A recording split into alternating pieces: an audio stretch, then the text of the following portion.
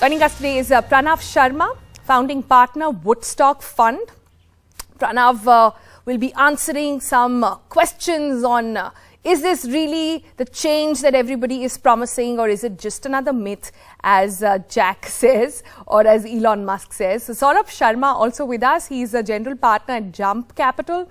He leads crypto infrastructure investments for Jump Capital and has a diverse background also in computing infrastructure. Hi, guys. Welcome to CC.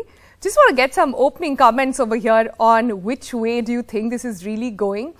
Uh, Saurabh, if you want to sort of jump in on that question straight away and take us through how do you answer these questions? If you were to reply to Jack Dorsey at the moment and say, well, there will always be vested interest, if not one particular person, then perhaps Mark Zuckerberg of the future, or say Jack Dorsey of the future. How do you answer that? Yeah, I think my answer would be first of all, I think that uh, pretty much all the applications that are building on Web3 are kind of in early phases, and there's a path to kind of full decentralization. So, you know, uh, to, to start anything, there is there's always a bit of capital required. Hmm. Kind of some I call it Genesis capital, and you know, of course, there are early folks involved. I mean, to that extent, Bitcoin is owned by a lot of institutions, uh, so it is no different. Uh, I mean, we know Jack is a maximalist in Bitcoin, and in that sense, it's owned by VCs too. If, if I just use by that definition, but I think that really the thing to think about is you've got a starting point, got to you know put some seed capital uh, to get these projects started, which is the whole uh, idea here that you got to give equal opportunity to every entrepreneur to get started, uh, and it could come in different forms. VCs are one form. There's other forms of raising capital now uh, through the community, and there's a path to decentralization. Uh, the end goal for pretty much anyone who's building a network or a protocol is going to be that this is going to be owned uh, and governed, which is a kind of keyword, governed by the users and community, mm. versus Jack Dorsey as a CEO deciding who gets censored or not censored on Twitter. Mm-hmm. Uh, the community votes and the community decides, and mm. you know, in that case, then uh, I guess uh, it, it, kind of leads to that end goal. So that's kind of sort of my maybe right, normal so sort response. of suggesting it's going to be fairly democratic. But it's, uh, I, it's, yeah. I don't know if that's a good thing, bad thing. There are lots of reference to that word. Let me bring in Pranav uh, on that note. Pranav, uh, just first opening comments, really, I want to understand from you on uh, how are we going to solve this problem? We are still a few years, let's just say a few years away from realizing Web3 and its full potential, right? Uh, initial money pumping in is understood. Once it's up and rolling, who controls the system? For example, who will look after misinformation if that is spread, for example? Who will be accountable? Today, if there is some misinformation, somebody puts out a fake article about, say, me on Facebook, I can write to them, I can ask them to put it down and authenticate. If there is no one entity, then who will perhaps play this role? So, so Sonal, first of all, thank you very much for this opportunity. And all I can say is that uh, Web3 is a journey and it's not a destination.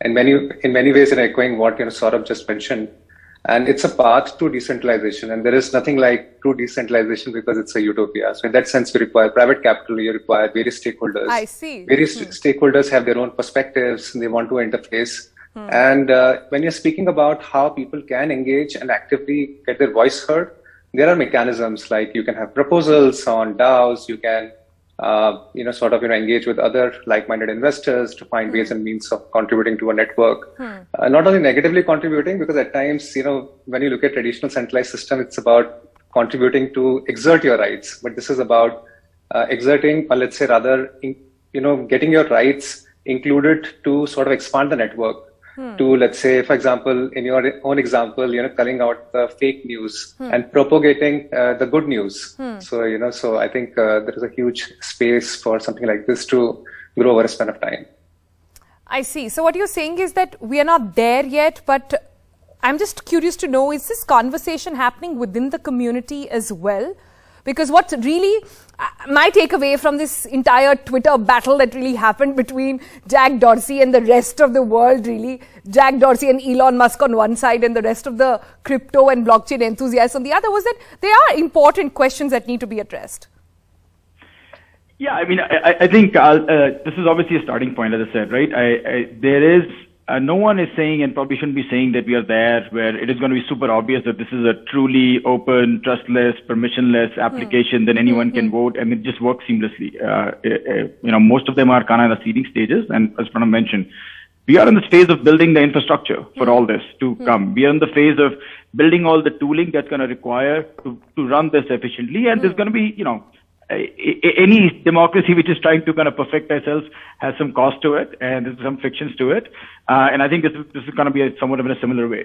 Uh, but, but, uh, so I think that today's debate, if, if I guess Elon says I, I don't see it, it's probably not, not as obvious, but there are, you know, there are pretty good examples of a lot of uh, projects which are out there. Uh, there was a, there was a project uh, called Sushi Swap, which is, you know, they were trying to raise some side money from VCs. Uh, the community opened up, kind of debated against it, and that that proposal was voted down. There are, as of today, happening in most protocols. Any change in the protocol are being actually put out by the community.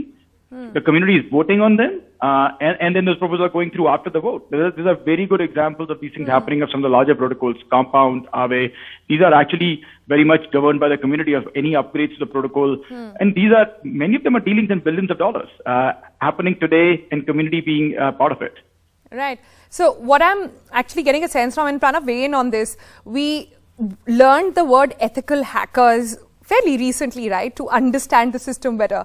So we are looking at activist investors now who will come and ensure that sort of the right things are happening and the money is going in the right direction as well. But one question that I have is, and this is often that pops up when it comes to money transactions. It could be on DeFi, it could be on anything else. For example, once you paid, you paid, right, on the blockchain.